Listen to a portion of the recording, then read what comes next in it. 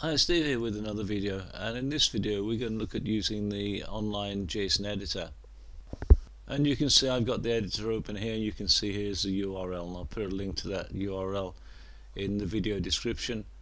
Now to illustrate this I'm going to use the problem from the workbook and this is the problem we're going to look at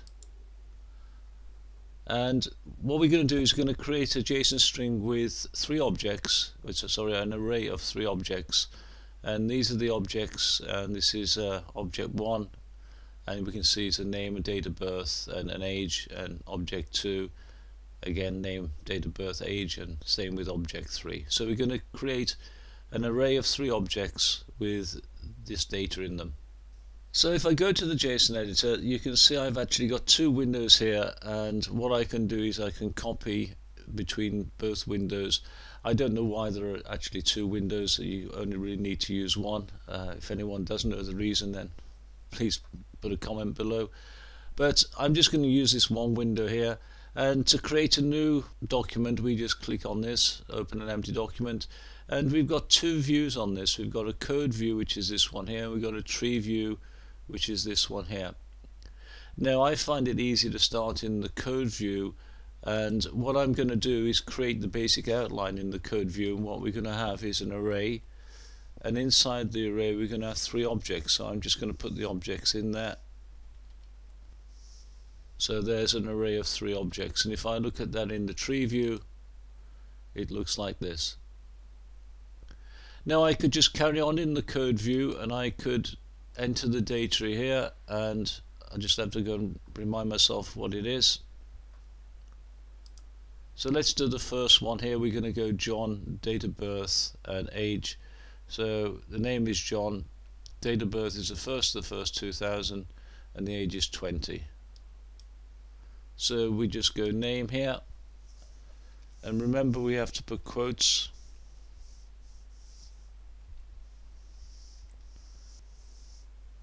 and a comma and the date of birth.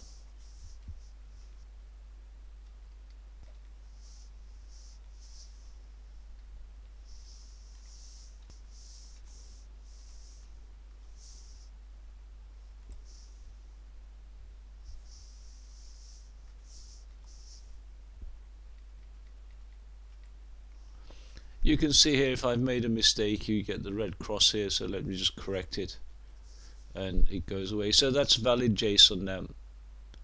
And if I go look at it in the tree view, we can see there's object one. Now, I had to remember to put the quotes around it and everything else when I was in the code view. If I go into the tree view, it's a bit easier, so I just going to do uh, object number two. So I click on here, it's an empty object Okay, to add data to this empty object, I click here on this box here and I, am going to append and I'm going to go for an auto.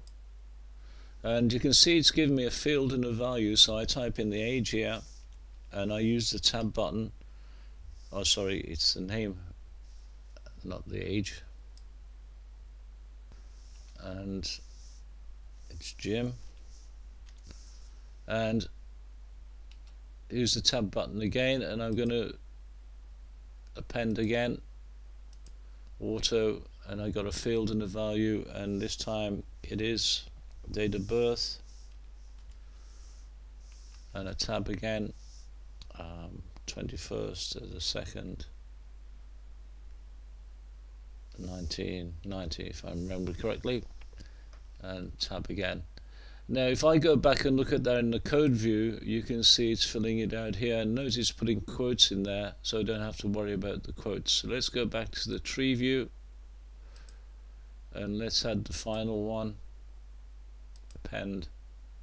And it's the age, FMS 30. And finish it off with a tab and look at the code, you can see it here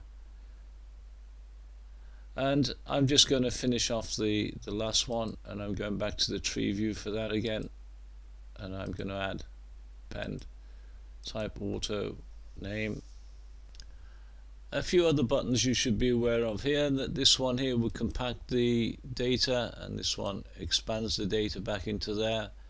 Uh, you can also sort the contents based on any of these fields here. So I can sort it based on age, date of birth, and, and name, and shows me here I've actually got two names so I've actually made a mistake and I can see it here this one's got a lowercase and this one's these two have got uppercase so I need to go and change these so they're uppercase.